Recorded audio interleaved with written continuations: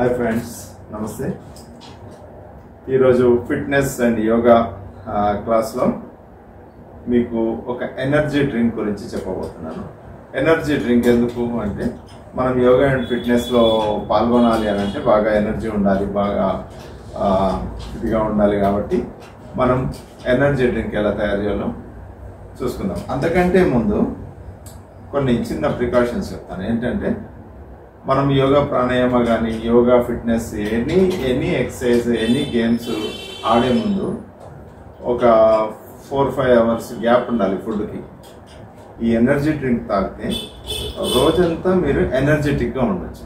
Okay come on let's go to kitchen friends energy drink ఎలా తయారు చేయాలో చూపిస్తానని చెప్పాను కదా. ఈ కిస్మిస్లు తీసుకొని ఈ వాటర్లో వేసి పక్కన పెట్టుకోవాలి.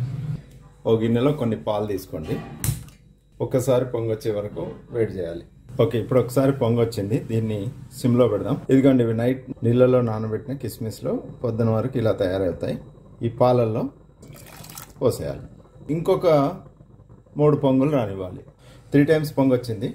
కప్లో పోసేసుకోవాలి.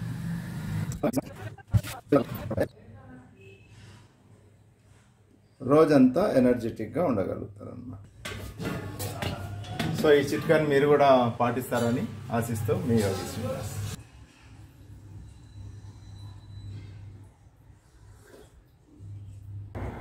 ఓకే మన ఎనర్జీ డ్రింక్ చూశారు కదండి. దీన్ని మనము ఎప్పుడు తాగాలి? పరిగడుపున తాగాలి. అంటే నార్పేట్ అంటే ఎంటీ స్టమక్ తాగాలి. అండ్ దాంట్లో షుగర్ కానీ బెల్లం కానీ ఇంకా ఏది కూడా ఏ స్వీట్నర్ కూడా యూజ్ చేయకూడదు. ఆ పాలు తీయగా ఉంటాయేమో అని అనుకుంటున్నారు.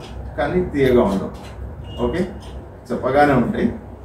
సో దాన్ని మధ్య మధ్యలో కిస్మిసెస్ ఉన్నాయి కదా ఒక్కొక్కటి తింటూ కొంచెం కొంచెం డ్రింక్ తాగుతూ ఒక్కొక్కటి తింటూ తాగుతూ ఉండాలన్నమాట. అప్పుడు ఏమవుతుంది ఈ స్వీట్నర్ దాంట్లో కలిసి మనకు స్వీట్గానే అనిపిస్తుంది మంచిగా అనిపిస్తుంది అనమాట చప్ప చప్పగా ఉందని చెప్పి మీరు నిరాశపడదు దాంట్లో చాలా ఎనర్జీ ఉంది ఫ్రెండ్స్ చాలా అంటే చాలా ఎనర్జీ ఉంది. మీరు తాగితే కానీ మీకు తెలియదు.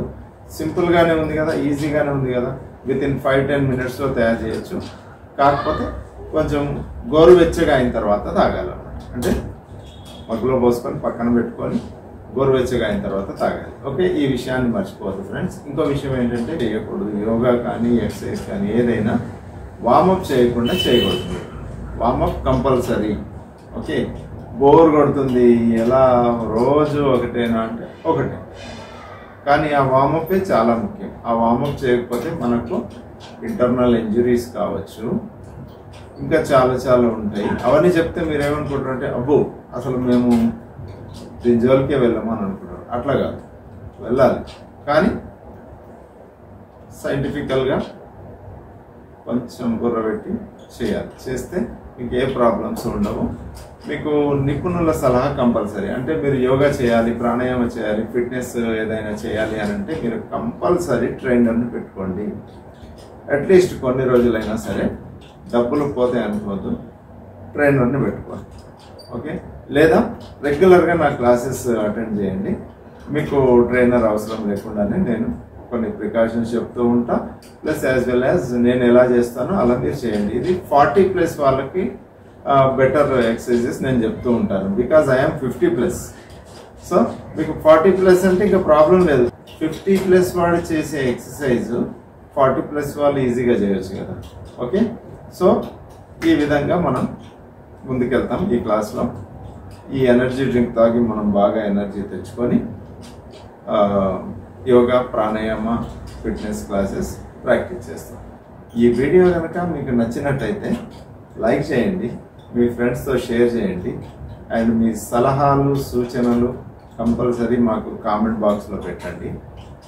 మా ఛానల్ని సబ్స్క్రైబ్ చేయడం మాత్రం మర్చిపోవద్దు. ఓకే ఫ్రెండ్స్ ఇంకో నెక్స్ట్ క్లాస్లో మళ్ళీ కలుద్దాం. అప్పటి వరకు సెలవు మీ యోగి శ్రీనివాస్. నమస్తే. బాయ్